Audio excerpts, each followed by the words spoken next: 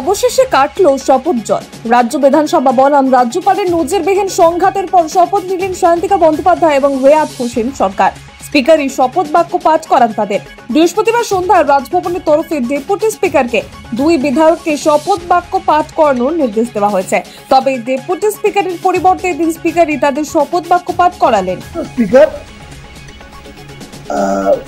আজকে সভা ডেকেছিলেন, কিন্তু সভাতে এজেন্ডা হিসেবে যেটা কিনা আমাদের রুলস বইতে আছে এইটাতে রুল ফাইভে যেটা আছে chapter two rule five in a member who has not already made and subscribed an oath or affirmation in pursuance of Article 188 of the Constitution, he may do so at the commencement of a sitting of the House or at any other time of the sitting of the House, as the Speaker may direct on any day after giving previous notice in the writing to the Principal Secretary.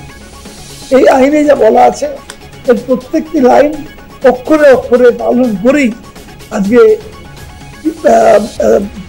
আজকে বিধানসভায় শপথ হয়েছে জয় পরাজয় বিষয়টা না যেটা প্রথা চলে এসেছে দীর্ঘদিন ধরে, সেই প্রথাটা আমরা ধরে রাখার জন্য টিকে রাখার জন্য আমাদের লড়াইটা। সারা পশ্চিমবাংলা সহ দেশের প্রত্যেকটা রাজ্যে একই ধারা কিন্তু অব্যাহত আছে। এবং ইভেন কি কিছুদিন আগেও আমরা দেখলাম, পার্লামেন্টেও কিন্তু একই ধারা অব্যাহত রয়েছে। সেই জায়গাতে আমরা চাইছি যে আমরা ভারতীয়রা কৃষ্টি কালচার নিয়ে আমরা বেঁচে থাকি। আমরা চাইছি যে কৃষ্টি কালচার নিয়ে আমরা ভবিষ্যতে বেঁচে থাকব এবং যুগ যুগ ধরে যে নিদর্শন স্থাপন হয়ে আসছে সেটা কিন্তু আমরা বহন করব। অবশ্যই এটুকুই বলব যে সত্য সত্যমেব জয়তে। সবাইকে ধন্যবাদ। আপনাদেরকেও আপনারাও সাত দিন ধরে আমাদের সাথেই এই যাত্রায় ছিলেন অনেকেই এখানে।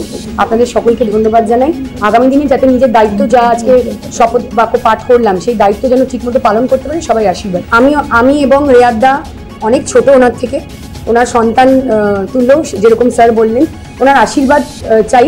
এবং উনি যাতে আশীর্বাদ করুক আগামী দিনে খুব ভালোভাবে কাজ করতে পারি।